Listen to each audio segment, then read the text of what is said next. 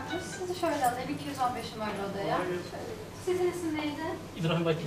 İbrahim Bey sizi 216 numaralı odaya alayım. Fırat Sevgi.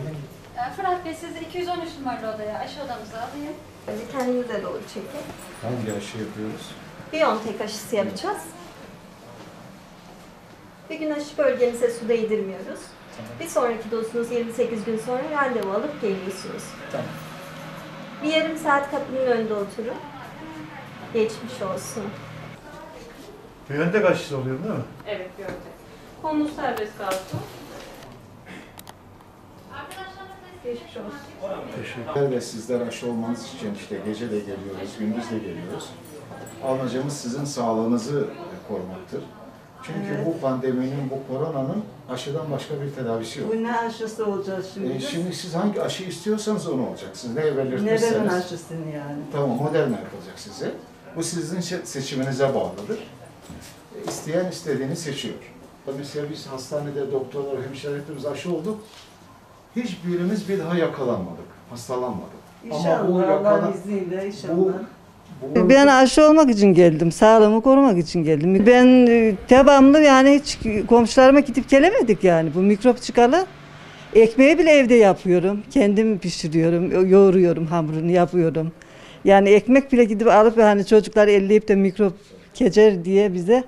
Onu bile eşimde birazcık rahatsızlık var da. Kalp rahatsızlığı biraz şeker var. Onun için yani çok dikkat ediyoruz biz ailece.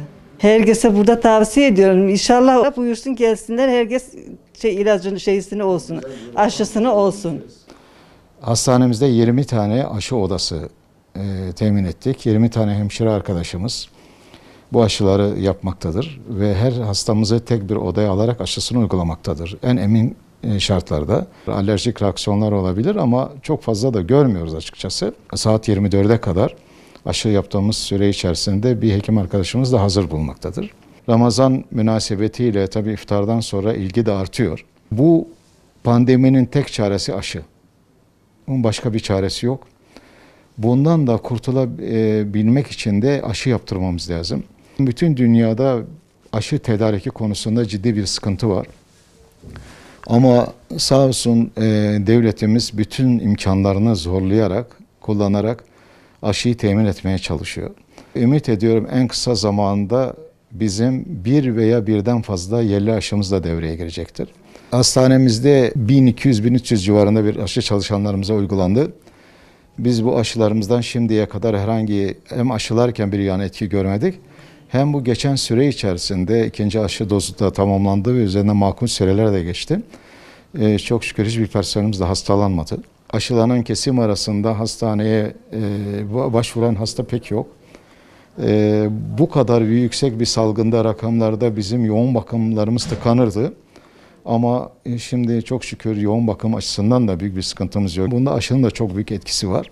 E, fakat Sirt halkı ilgi göstermiyor aşıya. Tevekkül etmek tedbir aldıktan sonra olur. E, Allah da öyle emrediyor. Biz önce te- e, tedbirimizi alalım, sonra artık tevekküle bırakalım. Ama bir başka önemli noktayı vurgulamak istiyorum. Biz aşı olsak bile muhakkak gene korunmaya devam edelim. Yeni canlarımızı, yeni insanlarımızı kaybetmemek için ve o yoğun bakımlarda büyük acı çekmemek için lütfen aşı olalım, aşıyı tavsiye edelim ve Siirt'te aşı oranı çok düşük. Lütfen bunu yükseltelim.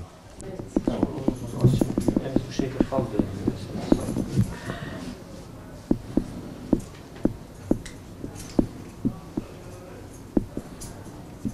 alabilirsiniz. Hafif kızarıklık ağrısı olabiliyor.